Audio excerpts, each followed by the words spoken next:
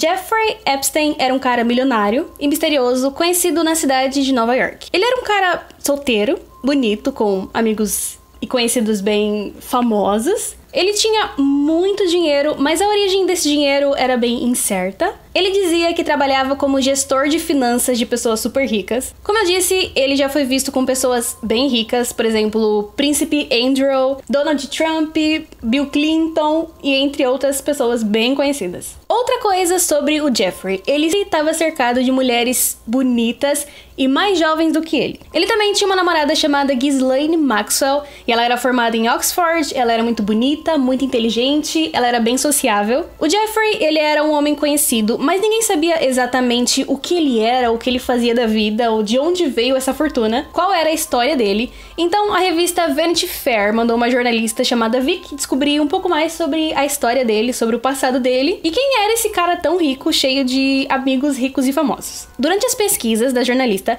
ela descobriu que uma mulher teve uma experiência desagradável, por assim dizer, trabalhando pro Jeffrey. E não só isso. A irmã mais nova dessa mulher foi abusada pelo Jeffrey quando ela era menor de idade. E o que era para ser uma matéria sobre um cara rico e misterioso se tornou uma matéria sobre um cara rico e criminoso. A mulher em questão se chama Maria Farmer e ela é uma artista plástica. Na faculdade, ela começou a desenhar cada vez mais e mais, ela se apaixonou por isso, e os desenhos dela eram bem bonitos. Na noite da graduação da turma dela, em 1995, eles fizeram um tipo de show de exibição com as artes, e aí você podia ir lá mostrar suas artes, e quem quisesse comprá-las era só falar com você. A Maria, ela conseguiu vender as três artes dela por um preço muito bom, mas a pessoa responsável pelo evento chegou nela e falou tipo: "Então, Maria, você, eu sei que você já vendeu as suas artes, mas você vai pegar ela de volta porque você vai vender as suas artes para esse casal aqui. Inclusive, eles ajudam a faculdade financeiramente, então você vai ter que fazer um desconto para eles." No fim, a Maria teve que deixar de vender os quadros dela por 12 mil dólares e ela vendeu eles por 6 mil dólares.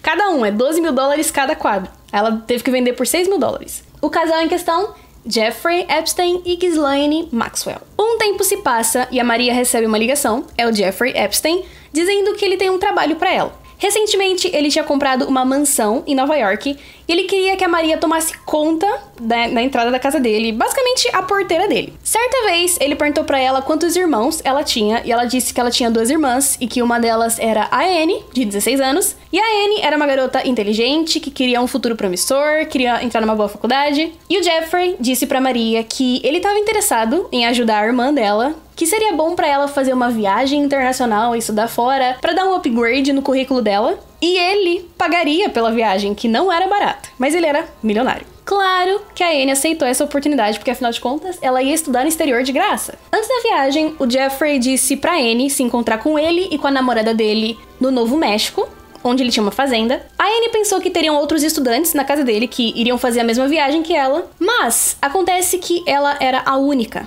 na casa. A sensação que a Anne tinha era que o Jeffrey tava se exibindo, tipo, olha a minha casa, como ela é grande, olha como eu sou rico, olha tudo que eu tenho, eu sou rico e poderoso. Enquanto a Ghislaine agia tipo, como você é sortuda de estar aqui, nossa, você é tão abençoada de estar aqui com a gente. Sorte a sua! Durante esse final de semana, a Anne conta que uma noite o Jeffrey ele entrou no quarto dela e ele disse que ele queria fazer conchinha com ela, tipo, dormir abraçado com ela na cama. E aí ele deitou na cama e ele começou a passar a mão nela. Só que ela ficou em estado de choque porque ela não esperava isso e ela não sabia como reagir. Além disso, ela estava sozinha com ele e com a namorada dele na casa, não tinha mais ninguém. Ela inventou uma desculpa e ela disse que ela precisava ir no banheiro. Ela entrou no banheiro e trancou a porta. Depois daquilo, ela não contou para ninguém o que tinha acontecido, nem pra família e nem pros amigos dela. Ela meio que tentou evitar esse assunto, tipo, sabe? Ela não sabia digerir o que estava acontecendo. Por fim, ela decidiu fazer essa viagem que já estava paga. Enquanto isso, o Jeffrey ele ligou para Maria, a irmã da Anne, dizendo que ele queria ajudá-la com a carreira dela. Ele perguntou se ela queria fazer uma residência artística em Ohio, que era uma casa que ele tinha lá, e ela, ela não sabia o que tinha acontecido com a Anne, então ela aceitou. A Maria, ela se mudou para essa casa enorme e vazia. Ela comprou o material dela de pintura e ela começou a pintar, começou a trabalhar. Os desenhos dela eram sobre puberdade e ela tirava foto das irmãs dela, usava as irmãs como modelo. Tinham seminudes nos desenhos,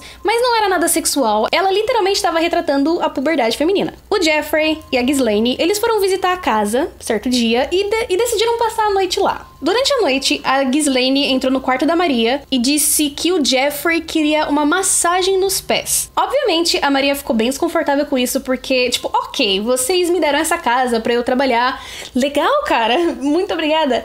Mas exigir uma massagem nos pés em troca, isso não é ser bonzinho, isso é ser bem sacana. Ela fez a massagem nele e aí o Jeffrey pediu para ela subir na cama para ficar do lado dele e do outro lado, a Ghislaine sentou. No meio dos dois, a Maria conta que eles começaram a acariciar ela, mas era meio estranho porque parecia meio automático, sabe? Eles ficavam mexendo no peito dela. A descrição em si é bem perturbadora, porque enquanto eles faziam isso, a Maria tava no meio deles, chorando, sem saber o que fazer. E aí a Ghislaine começou a acariciar a mão dela, dizendo, tipo, ei, calma, vai ficar tudo bem. Depois disso, a Maria conta que ela foi pro quarto dela. Ela fez, tipo, uma barricata, ela colocou móveis contra a porta e ela só saiu do quarto quando eles foram embora. Assim que eles saíram, ela foi ver se as fotos das irmãs dela ainda estavam lá ou se tinham sumido e três fotos tinham desaparecido. Fotos da Anne, de 16 anos, e fotos da irmã mais nova delas, de 12 anos. No dia seguinte, o Jeffrey ele ligou para Maria como se nada tivesse acontecido,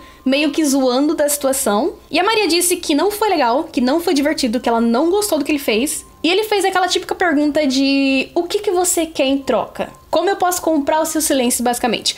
Quanto vale o seu silêncio? E a Maria não respondeu nada, ela só desligou na cara dele. A Maria ligou pra irmã dela e perguntou se tinha acontecido alguma coisa estranha com ela enquanto ela tava com o Jeffrey e a irmã dela contou o que aconteceu. Ela voltou para Nova York, ela contou para a polícia tudo o que tinha acontecido, e os policiais disseram que como não era no distrito deles, não tinha nada que eles pudessem fazer. Se tinha acontecido em Ohio e no Novo México, eles tinham que ligar para FBI. A Maria então liga para FBI e ela conta tudo, ela diz o que o Jeffrey e a Ghislaine fizeram com ela e com a irmã dela. Aparentemente, ele acreditou na história dela e ela esperou que ele fizesse alguma coisa mas o FBI nunca retornou a ligação dela. Isso aconteceu em 1995, mas a história só foi contada à revista Vanity Fair em 2003. Elas contaram a história delas e a revista precisou ir atrás do Jeffrey pra ouvir o lado dele da história. Ele conta que. É até ridículo. Ele conta que elas estavam apaixonadas por ele e que a história que elas contaram, na verdade, era uma vingança porque elas não foram correspondidas por ele. E ele ainda disse pra jornalista: então, se eu não gostar da matéria que você tá escrevendo, vai ser bem ruim para você e para sua família. Na época, a Vicky, a jornalista, ela tava grávida de gêmeos e o Jeffrey disse para ela: "Onde é que você vai dar a luz? Eu conheço todos os hospitais e eu conheço todos os médicos. Se você não me contar, eu descubro. E se eu não gostar dessa matéria aí que você tá escrevendo, um feitiço vai amaldiçoar os seus filhos recém-nascidos. A Vicky recebeu uma ligação do editor-chefe dela, quem tinha dado a matéria para ela escrever, e ele também estava assustado, porque ele tinha achado a cabeça de um gato no jardim da casa dele e uma bala na soleira da porta. Ele disse para Vicky que a história das meninas não ia entrar na matéria, ia ser retirada, e a Vicky questionou, mas por que as garotas foram corajosas de contarem a versão delas, a história delas? A gente vai tirar isso da matéria? E aí, o editor-chefe dela respondeu então, é, o Jeffrey, ele ficou meio sentido, né, com essa história das meninas, então acho que a gente pegou no ponto sensível dele. E tem mais, eu acredito na história do Jeffrey Epstein. No final das contas, a matéria da Vicky não foi sobre um criminoso, foi sobre o talentoso Jeffrey Epstein. Ela obviamente ficou arrasada, tanto por ela, porque ela fizeram uma ameaça para ela e pros filhos dela que nem tinham nascido ainda. E ela também ficou mal pelas vítimas, porque elas tiveram coragem de contar a história delas e aí, no final das contas, não valeu de nada. O que eles não sabiam, no entanto, era que aquele era só o começo. Em 1990, o Jeffrey ele comprou uma mansão na Flórida, em Palm Beach. E Palm Beach é uma região conhecida por abrigar várias pessoas ridiculamente ricas, e ela também é conhecida como a Ilha Bilionária. Foi lá que o Jeffrey comprou a sua humilde mansão de 20 milhões de dólares. Essa ilha é um lugar fechado que dá a falsa sensação de segurança e privacidade. Você é extremamente rico e aí você se muda para lá e você acha que ninguém vai te achar, que você pode fazer o que você quiser. É literalmente como viver em uma bolha. Em 2007, o Jeffrey tinha essa mansão em Palm Beach ele tinha uma mansão em Nova York, ele tinha um apartamento enorme em Paris, ele tinha uma ilha particular no Caribe, ele tinha uma fazenda no Novo México, ele tinha um helicóptero e dois aviões. Apesar disso, apesar dele ser tão rico assim, ele era quase um fantasma. Ninguém sabia da história dele, ninguém sabia, ninguém sabia qual era dele. As únicas pessoas que pareciam ser bem próximas a ele eram o Donald Trump, o Bill Clinton e o príncipe Andrew.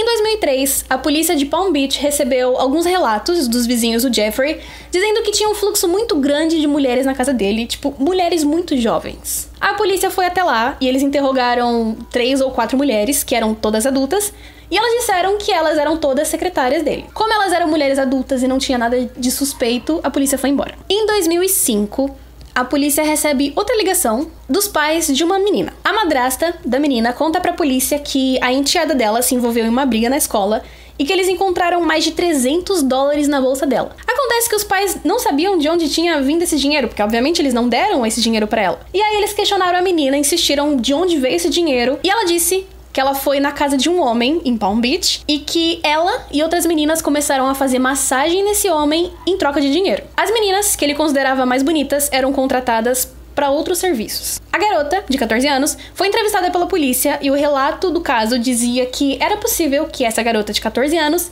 estava tendo relações com um homem adulto. A descrição que essa garota deu levou a polícia até a casa de Jeffrey Epstein. O detetive responsável pelo caso acreditava que tinham outras garotas envolvidas, então ele começou a ir atrás para ver se ele achava mais alguém. Todas as vítimas tinham exatamente a mesma história. Elas conheceram ele através de uma outra amiga. Elas achavam que elas iam até lá para fazer massagem em troca de um valor X de dinheiro, e ele começava a fazer coisas bem impróprias mais e mais e mais vítimas foram aparecendo. Uma garota dizia para outra garota, que dizia para outra garota e assim por diante. Os relatos eram bizarros, meio que tinham um padrão. Elas tinham que fazer massagem nele e elas tinham que estar sem roupa. O Jeffrey, ele sempre ia atrás de garotas mais jovens, mais novas, garotas vulneráveis, garotas de família simples. Ele sabia que elas não contariam nada para ninguém. Ele sabia que algum dia elas voltariam pelo dinheiro porque elas precisavam desse dinheiro. E ele sabia, ou ele achava, que ele tinha poder sobre elas, porque afinal de contas, ele era rico. Ele podia fazer o que ele quisesse, ele era imune a tudo, porque ele era um cara rico e poderoso na cabeça dele. Na verdade, ele estava fazendo o que vários predadores sexuais fazem: ir atrás de vítimas mais vulneráveis. Muitas das garotas não quiseram prestar queixa contra ele porque ele era um cara rico e poderoso, então elas tinham medo dele. Por isso, a polícia decidiu falar com os funcionários dele para ver se eles descobriam mais alguma coisa. Assim como as vítimas, os funcionários também tinham medo dele medo de serem processados por ele ou pela empresa dele. Então eles não queriam falar nada, eles não queriam se envolver. Era um cara rico, era um cara poderoso, era um cara narcisista, a pior raça do mundo. Sem a cooperação das meninas, sem a cooperação dos funcionários, a polícia decidiu vasculhar o lixo da casa dele. No lixo, eles encontraram um boletim escolar de uma das meninas. Eles encontraram o recibo de um serviço que ele tinha contratado. Ele tinha contratado alguém para enviar flores e uma mensagem para uma estudante do ensino médio que tinha feito uma massagem nele. Quanto mais a polícia investigava, mais a situação piorava. Além do que ele fazia com as vítimas, ele meio que tinha criado um esquema de pirâmide entre as meninas. Ele dizia pra menina, tipo, olha, se você trazer uma amiga, eu te pago mais 200 dólares. Então, além da menina fazer massagem nele, ela ganhava mais 200 dólares se ela trouxesse uma outra amiga. E aí essa amiga trazia outra amiga, que trazia outra amiga, e assim por diante, e no final eram muitas garotas. Todas menores de idade. Só uma garota, ela trouxe cerca de 24 meninas para casa do Jeffrey. Então pensa, se cada uma dessas 24 meninas trouxerem mais 24 meninas, cara, é muita gente. No dia 20 de outubro de 2005, a polícia tem o mandato de busca para casa do Jeffrey. Até o momento, o Jeffrey, ele não sabia oficialmente sobre a investigação da polícia. Eles não queriam alarmar o Jeffrey porque ele poderia facilmente fugir. Afinal de contas, ele era rico, era só ele pegar um jato e ir embora. E eles precisavam de provas concretas para montar um caso de peso para poder atacar o cara. Na casa dele, a polícia encontrou muita nudez. Tipo, muita. Fotos de mulheres e de crianças em todos os lugares. Fotos, estátuas, pinturas, todas nuas. Era bizarro. Eles encontraram uma sauna bizarra e eles encontraram a sala de massagem onde os crimes aconteciam. Eles encontraram computadores, mas todas as informações dos computadores já tinham sido levadas, assim como as imagens das câmeras de segurança. Tinham também fios pendurados, o que dava para perceber que ele tinha pegado os computadores e levado embora. E a polícia percebeu que o tempo todo o Jeffrey sabia que ele estava sob investigação da polícia e ele tinha escondido as provas. Toda a investigação foi bem complicada, porque a polícia sabia que eles tinham que tomar cuidado, porque teriam policiais que iriam tentar proteger as pessoas da ilha. O Jeffrey, ele sabia que a polícia estava investigando ele, então se ele quisesse sumir com as provas, não seria muito difícil para ele. E aí tinham as vítimas. Algumas ficaram felizes de receberem o contato da polícia e realmente queriam prestar queixa contra eles. Outras tinham medo de prestar queixas. Outras diziam estarem apaixonadas pelo Jeffrey, que iriam casar com Jeffrey. Outras fecharam a porta na cara dos investigadores, não queriam falar nada. Então, não seria tão fácil assim. Em 1999, tem o relato de uma outra vítima e essa daqui é muito importante. Uma moça que trabalhava em um resort, o um resort chamado Mar-a-Lago, na época pertencia ao Donald Trump. Eu não sei se é dele hoje em dia, não sei que fim deu. Enfim, a moça trabalhava nesse resort e ela queria ser massagista profissional.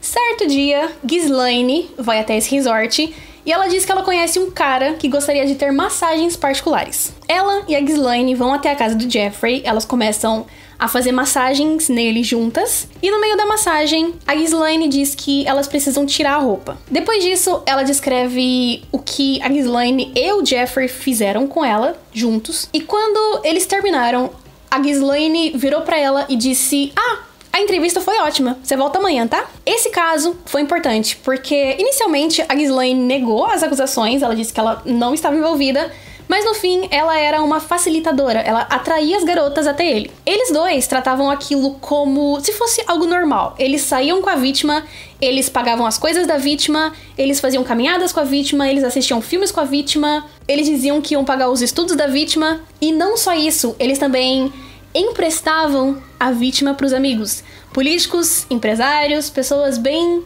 poderosas. Eu não gosto de usar a palavra poderoso, porque no fim das contas, a gente vai apodrecer tudo do mesmo jeito, todo mundo vai pro mesmo caixão. Poderoso para mim é Deus. Mas, querendo ou não, uma pessoa que tem o poder de destruir a sua vida num piscar de olhos, de fato, é uma pessoa poderosa. E o Jeffrey, ele acreditava ser o dono da polícia porque ninguém podia fazer nada contra ele, porque ele era rico e poderoso. Mas, cara, afinal de contas, quem diabo era esse cara que se achava grandes coisas?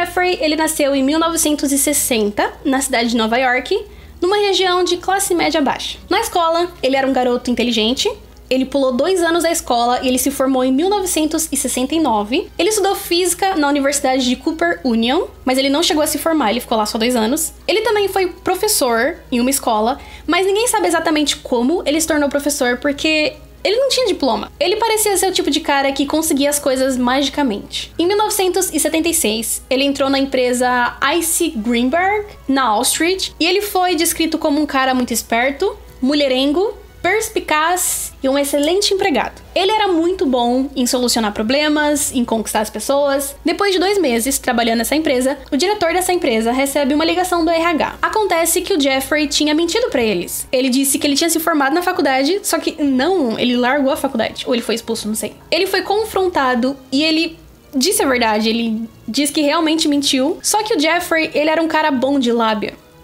Minha voz tá acabando. Só que o Jeffrey Ai, minha voz tá acabando. Deixa eu beber água. Só que o Jeffrey, ele era um cara muito bom de lábia. Ele era muito bom em enganar as pessoas. Na verdade, ele se saiu tão bem na empresa que ele virou sócio. Só que aí, depois de um tempo, ele foi demitido por violar algumas regras. Não sabemos que regras são essas. Em 1986, depois de ter sido expulso dessa empresa dele, ele conheceu o diretor executivo de uma empresa chamada Towers Finance Corporation, acho que é assim que se fala. Esse diretor recebeu uma ligação de um dos antigos chefes do Jeffrey e ele disse que o Jeffrey era brilhante e não sei o que, que ele era um ótimo empregado, tarará, mas que ele tinha a bússola moral corrompida. O Jeffrey ele tinha roubado e fraudado o dinheiro do cartão empresarial. Esse diretor executivo que tinha recebido a ligação ele gostou de saber disso. Ele queria o Jeffrey na equipe dele porque eles estavam fazendo um esquema de pirâmide e o Jeffrey seria perfeito para isso. O Jeffrey, ele era ótimo em manipular as pessoas e conquistar as pessoas com o carisma dele, então para esse esquema corrupto, ele era maravilhoso. O Jeffrey, ele acabou se tornando o braço direito desse cara nesse esquema de pirâmide. Eventualmente, o esquema caiu por terra. E o Steven Hoffenberg, que era um dos milionários por trás desse esquema, confessou o crime e foi preso. Mas o Jeffrey, ele não foi preso, por incrível que pareça.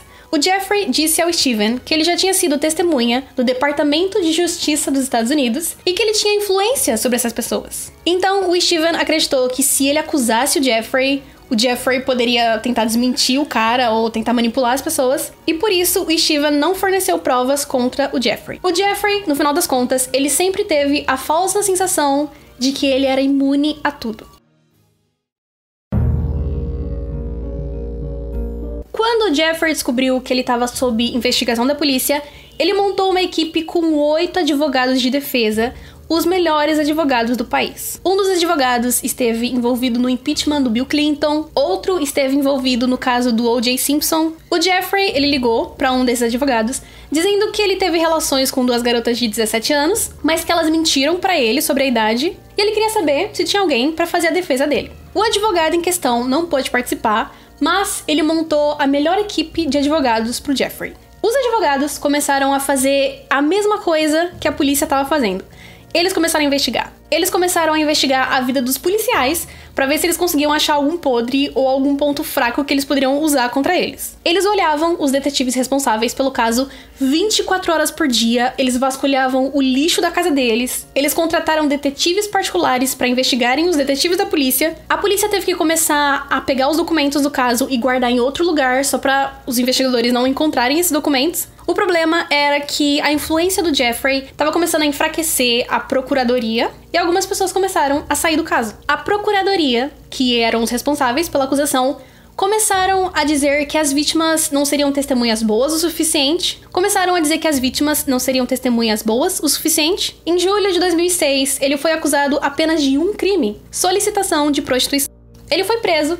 Horas depois, ele pagou a fiança e foi embora. Os advogados do Jeffrey fizeram entrevistas com as vítimas e eles foram simplesmente cruéis. Eles tentaram desmenti-las ou diminuir o que aconteceu com elas, como se não fosse nada. Tinha aquela coisa de: ah, do que, que você tá reclamando? Vocês não foram pagas? Como se elas fossem prostitutas, sendo que elas eram crianças. Uma delas foi questionada sobre um aborto. E o advogado perguntou: ah, o que, que foi pior? Seus três abortos aí ou fazer massagem sexual no Jeffrey? Além de serem humilhadas pelo Jeffrey, essas mulheres, essas crianças, foram humilhadas pelos advogados dele. O jornal de Palm Beach, ele queria fazer uma matéria sobre o caso, noticiar o que estava acontecendo, mas todos os dias os jornalistas desse jornal recebiam ligações com ameaças para eles não falarem sobre o caso, porque os advogados queriam que esse caso sumisse. Mas aí começaram os questionamentos. Por que, que a procuradoria não acusou o Jeffrey? O delegado da polícia de Palm Beach, inicialmente o responsável pelo caso, ele escreveu carta aos pais das vítimas dizendo que a justiça não tinha sido feita ainda e ele decidiu repassar o caso pro FBI, o que era incomum um delegado que estava contornando a procuradoria e ele estava passando o caso pro FBI. Em julho de 2006, o FBI assumiu o caso. O FBI ele começou a vasculhar o histórico para ver se tinham outros casos envolvendo o Jeffrey, casos antigos, e de fato, tinha o caso de 1996 que foi ignorado por eles, por sinal. O caso das irmãs Maria e Annie. Quando a Ghislaine descobriu que a Maria tinha denunciado eles pro FBI, ela ligou para Maria dizendo que ela ia queimar as artes dela, que ela ia destruir a carreira da Maria e que ela deveria tomar cuidado porque ela sabia onde a Maria corria e que não seria mais seguro, porque era muito fácil morrer na rodovia. Depois disso, a Maria começou a se mudar frequentemente. E ela se mudava, ela se estabelecia, outra vez ela conseguia estabelecer. E aí, a Ghislaine ligava para dizer que, olha, eu sei onde você mora. E ela fazia as mesmas ameaças dizendo que a Maria nunca estaria segura. Em 2006, a Maria, ela tinha mudado de nome e ela tava morando. Ela tava se escondendo nas montanhas da Carolina do Norte. Certo dia, um homem e uma mulher batem na porta dela. Eram agentes do FBI. O FBI foi atrás das vítimas e eles pediram para elas contarem a história delas, porque dessa vez eles iriam atrás do Jeffrey Epstein. Eles também ofereceram proteção para as vítimas e disseram que nada de ruim ia acontecer com elas. E outra vez, os advogados contrataram detetives particulares para eles irem atrás das vítimas, vasculharem a vida das vítimas e dos responsáveis pela investigação. Começaram a tirar fotos, começaram a vigiar as casas. Em 2008, quando a polícia de Palm Beach ligava para FBI para perguntar sobre o caso, eles respondiam dizendo que não tinha nada para falar sobre o caso, que eles não podiam falar sobre o caso. Acontece que o procurador-geral, o Acosta, teve uma reunião particular com Jeffrey e os advogados dele, e depois disso, a acusação simplesmente sumiu. E não só isso, o caso do FBI foi suspenso. Os agentes da FBI ficaram bem irritados com tudo isso, porque pela segunda vez o processo contra ele não estava dando em nada. Gente, desculpa pelas crianças gritando no fundo, não, tem o que eu posso fazer. No dia 30 de junho de 2008, o Jeffrey Epstein, ele foi levado ao tribunal. Tinha muita gente no tribunal e não parecia ser uma audiência comum. Ela foi bem sigilosa e ela foi marcada em cima da hora. Em um certo momento, os advogados do Jeffrey e ele foram falar com o juiz em particular. Um policial pegou as digitais dele e amostras de DNA. Depois disso, ele e os advogados foram embora da audiência. Nessa audiência, o Jeffrey se declarou culpado do crime de solicitação de prostituição e uma pena de 15 anos caiu para 18 meses em um centro de detenção em Palm Beach. Todos os cúmplices do crime, identificados ou não, não sofreram nenhum tipo de pena. Ele estava sendo acusado de algo muito mais simples, entre aspas, do que ele realmente tinha feito. A polícia de Palm Beach, ela tinha várias provas contra ele e coisas mostrando que ele de fato teve relações com menores de idade.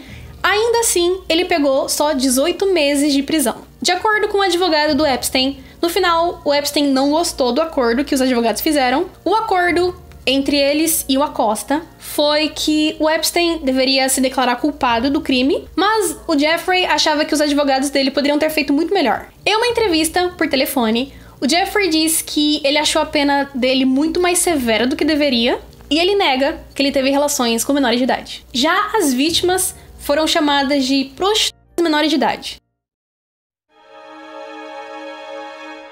Sobre a prisão do Jeffrey. Eu não sei se ter uma TV na sala, uma área só para você ficar com a porta da cela aberta e receber comidas que outras pessoas não recebiam e poder ver os advogados a hora que quisesse, seja exatamente uma prisão. E ele também recebeu licença de trabalho. Então ele era solto seis dias por semana para trabalhar e ele ficava 12 horas solto. Não era uma prisão, era um hotel. E ele recebeu essa licença assim que ele foi preso. O Jeffrey, ele tinha uma ilha particular, a ilha de St. James, e nessa ilha o Jeffrey, ele levava garotas, sempre garotas mais novas do que ele. Além de garotas, amigos do Jeffrey ficavam nessa ilha às vezes. Bill Clinton, por exemplo. Nem todos que iam na ilha iam lá fazer, né? Alguns iam lá só pra almoçar, depois iam embora, ou iam lá só porque era um lugar privado. Mas quando você vai numa ilha onde só tem garotas nuas, é um tanto quanto questionável. Nessa ilha, mais vítimas apareceram. E elas contam que basicamente todo mundo que trabalhava na ilha sabia o que esse cara fazia. Ele também sempre chamava garotas mais novas, dizendo que ele ia pagar os estudos dela, que ele daria uma ótima oportunidade para elas. Ele levava elas para essa ilha e ali ele fazia tudo o que ele queria. Tinham câmeras em todos os cantos da ilha e todo mundo ali trabalhava para ele. Então era como se você fosse levada para uma prisão e aí você tá presa com esse cara e ele faz o que ele quer com você. Em 2009, o Jeffrey foi solto da prisão dele e ele cumpriu 13 meses e o resto ele cumpriu em prisão domiciliar na sua mansão em Palm Beach. Ele só podia sair para trabalhar ou em situações permitidas por lei, mas, sinceramente, vocês realmente acham que ele cumpriu isso? Absolutamente não. Ele saía de casa várias e várias vezes e ele violava a condicional dele, o que é ilegal na Flórida. O detetive particular responsável por vigiar o Jeffrey para ver se ele estava cumprindo a pena disse que o Jeffrey vivia saindo e que ele ligava avisando tipo, olha gente, o Jeffrey tá saindo, o Jeffrey violou o condicional. E eles sempre respondiam, e o que, que você espera que a gente faça? Ele é uma celebridade. Depois de solto, ele continuou com a vida dele normalmente, como se nada tivesse acontecido. Ele dava festas e os amigos famosos e poderosos dele apareciam. Assim, não era como se eles não soubessem o que o Jeffrey tinha feito ou que ele tinha sido acusado. Eles até poderiam não saber diretamente. Vamos fingir que eles não sabiam. Mas, cara, o maluco foi acusado de pedofilia pela mídia e ele foi processado por isso. Não era como se ninguém soubesse. Mas ao mesmo tempo, não é uma surpresa que as pessoas continuassem sendo amigas do Jeffrey, até porque ele andava com o Kevin Spacey, com o Donald Trump, com o Bill Clinton, Harvey Weinstein, o príncipe Andrew. Um dos amigos mais próximos do Jeffrey, inclusive, era o príncipe Andrew. E no fim, todos eles tinham algo em comum, na é verdade? Tudo parecia perdido, Jeffrey vivia a vida dele normalmente, como se ele não tivesse feito nada. E aí, de 2015 a 2020, foi quando algumas das vítimas começaram a vir a público e desmascarar esses caras. O príncipe Andrew, ele foi acusado. Um dos advogados do Jeffrey foi acusado. Donald Trump foi acusado. Kevin Space foi acusado. Harvey Weinstein foi acusado. O movimento Me Too foi um soco na cara dessas pessoas que se achavam imbatíveis e ricos demais para serem presos. Em 2018, o Miami Herald publicou uma matéria falando sobre o caso do Jeffrey e sobre o acordo que o Jeffrey tinha feito com o governo em 2008. O Alexandre Acosta, o responsável por esse acordo, ele foi nomeado secretário do trabalho no governo do Donald Trump, mesmo com esse escândalo envolvendo Jeffrey Epstein. Em 2019, foi emitida uma ordem federal afirmando que o governo federal ativamente enganou as vítimas do caso Jeffrey Epstein, e isso daria a chance de uma nova audiência e dessa vez eles teriam que ouvir as vítimas. O FBI e a Procuradoria-Geral começou uma investigação em Nova York, novamente, sobre o caso, e eles começaram a reunir todas as vítimas que o Jeffrey tinha feito em todos esses anos. Quando a polícia começou a investigar, começou a reunir provas,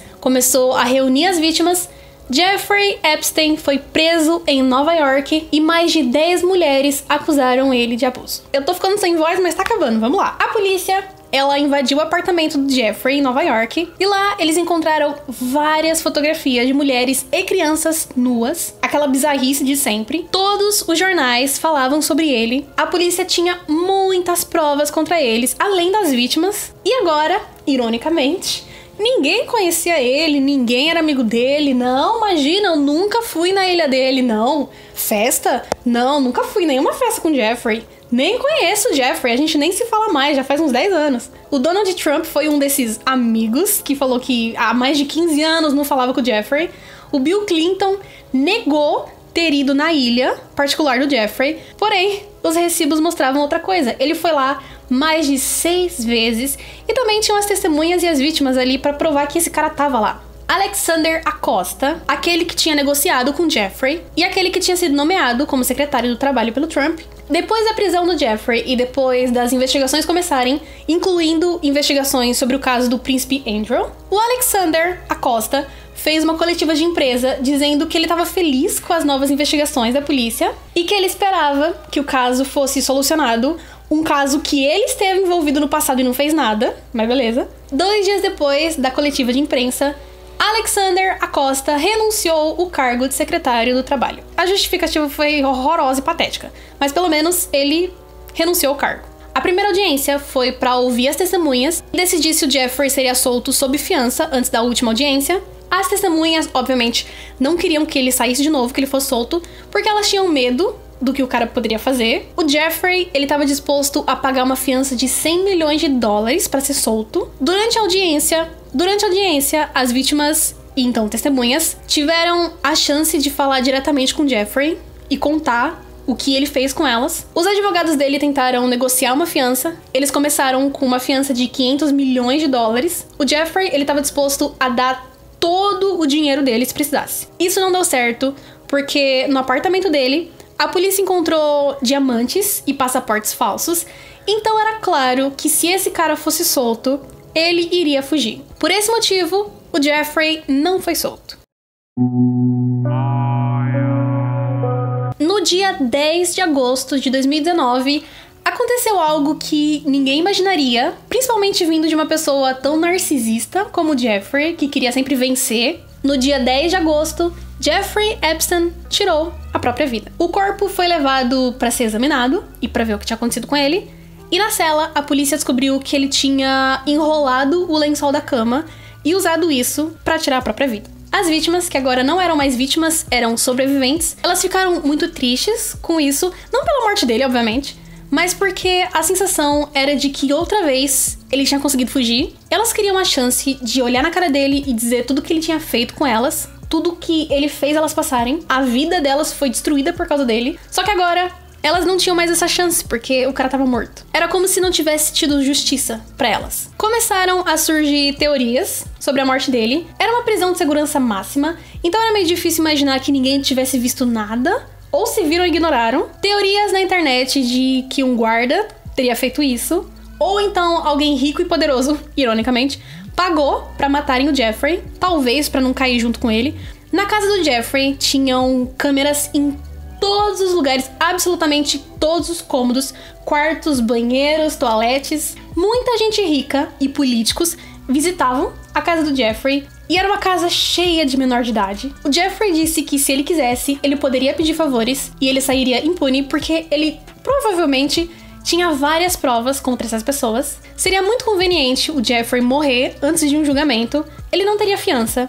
Ele com certeza seria preso, ele não ia mais poder fugir, então se ele quisesse falar tudo, ele não tinha mais nada a perder. Mas talvez outras pessoas tivessem. O irmão do Jeffrey, ele contratou um patologista forense para descobrir o que realmente tinha acontecido com o irmão dele. E esse patologista diz que não tinham indícios de que o Jeffrey tinha pulado da beliche. Ele também diz que tinham três fraturas no queixo do Jeffrey. E de acordo com o patologista, não tem como você conseguir três fraturas daquela sozinho. Dois dias antes da morte, o Jeffrey, ele colocou 577 milhões de dólares em um fundo fiduciário nas Ilhas Virgens, onde ficava aquela ilha particular dele, e isso dificultou em muito a indenização das vítimas. Então era como se ele soubesse que ele iria morrer ou ele tinha decidido que ia tirar a própria vida, mas antes ele queria garantir que as vítimas dele não ganhassem nada. Por fim, Ghislaine Maxwell, depois de se declarar inocente várias vezes e dizer que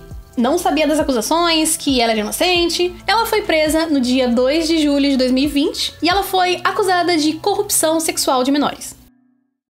Esse caso me fez refletir sobre muitas coisas, sobre como o governo pode ser facilmente manipulado quando você tem muito dinheiro, como as pessoas podem sair impunes e enganar as pessoas só porque elas têm um status social, como as mulheres precisam gritar para serem ouvidas e a primeira coisa que as pessoas fazem é duvidar. Como algumas pessoas podem ser simplesmente perversas, é surreal, mas apesar de ser um caso extremamente revoltante e frustrante, ele me deu uma certa esperança. É, é, meio estranho dizer isso, mas ele me deu uma certa esperança. Você pode ser rico, você pode achar que você é imune a tudo, você pode achar que você é poderoso e que você é imbatível, porque você controla vidas, literalmente. Você destrói vidas e você deixa as pessoas morrerem e você não sente um pingo de remorso por isso. Você pode achar o que você quiser, que você é brilhante e que nada nunca vai te parar, mas no fim, você é só um homem narcisista e cruel, extremamente burro, um homem soberbo. E sabe o que acontece com homens soberbos?